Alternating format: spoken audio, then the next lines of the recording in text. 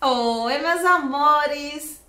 Imaginem a seguinte situação. Você está lá no seu escritório, sentadinho, esperando o seu cliente para uma consultoria jurídica. O seu cliente chega e ele fala para você assim: "Doutor, eu estou pensando em comprar um imóvel e eu gostaria de saber quais são os custos que eu vou ter para a aquisição daquele imóvel". Regra geral, você fala o que para o seu cliente? Bem, você vai precisar pagar a escritura pública de compra e venda, vai precisar arcar com o custo do ITIV ou ITBI, né, que é a mesma coisa, e vai precisar também arcar com o custo do cartório de registro de imóveis para que ocorra a transferência da propriedade. Ok.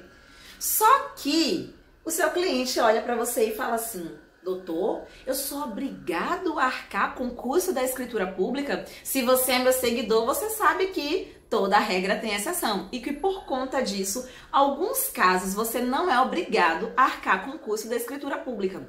Em alguns casos, a escritura pública ela é dispensável. Ué, quais são esses casos?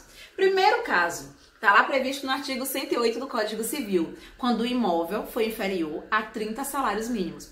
Toda vez que o imóvel for inferior a 30 salários mínimos, o seu cliente não vai precisar arcar com custo de escritura pública. Segundo caso, quando for para aquisição de lote urbano quitado, você também não precisa arcar com custo da escritura pública para o compromisso de compra e venda. Quando o seu cliente for comprar imóvel através do SFH, Sistema Financeiro de Habitação, SFI, Sistema Financeiro de Imóveis, também não vai precisar com custo da escritura pública. E um outro caso é quando o seu cliente estiver adquirindo imóvel e uma parte do valor for pago através do FGTS. Ah, Gabriela, mas o meu cliente ainda assim quer arcar com a escritura pública. Não há nenhum tipo de proibição, mas há necessidade? Não. Então é importante que você passe essas informações para o seu cliente durante a sua consultoria. Afinal, bela economia, hein?